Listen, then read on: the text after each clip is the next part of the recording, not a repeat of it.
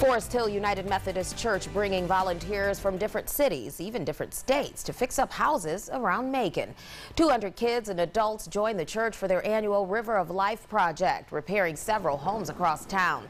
Volunteers at the site in Lizella repainted an elderly man's home, and Amy Brandon of Newton says even though they didn't, they don't live in Macon, it's still rewarding to see the impact of their service. just helps us realize how blessed we are. But I think it's also very important to give back and to, um, just as, as a way of saying thank you because we are blessed with what we've been given.